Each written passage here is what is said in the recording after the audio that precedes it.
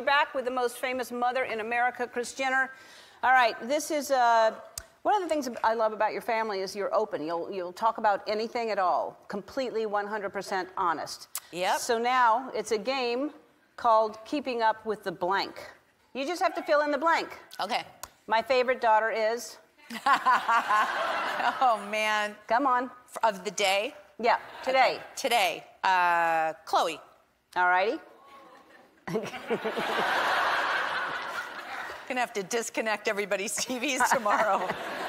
At the end of the day, nothing relaxes me like a good stiff. Vodka, That's right. Belvedere. Belvedere. She knows. I always have to stock Belvedere when you come over. Belvedere, When right. I call blank, they never pick up. Hmm. That probably is nobody. Everyone picks up. Kylie. Really? Yeah, She doesn't pick up? not a lot. I wish Kim would stop posting pictures of blank.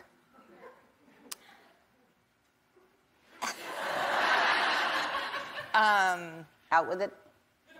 I don't. I don't know. Yes, you do. Her cooking photos. You're such a liar. so many cooking photos. So Stop many. with the cooking. Cupcakes. Uh, my, my next grandchild will come from, Kourtney. All right? Or really? maybe Kylie. What do you think? You're asking me? I think Kourtney. yeah, Auntie. Well, Maybe maybe Kendall. oh. Kylie, because Kylie, they're, they're back together, right? I don't know if they're back together. They're just They're great together. co-parenters. Yeah, they're together a lot. Mm-hmm. Well, that's good. Um, when I'm in, on vacation, I always Drink. drink. Your drink. Today, my smartest daughter is. Kim. Today, my favorite grandchild is. Well, I saw her right before I came here, so it's a dream. Oh. It seemed like a good idea, but I really regret. Drinking last night.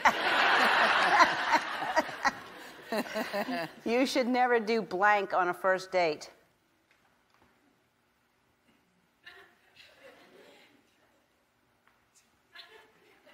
Have sex? Is that true? I think I, that would be good advice. Yeah, not on the first date. No. Going on the Ellen show always makes me feel. Warm and fuzzy. Oh. The stupidest thing I ever did for money was. Where do I start?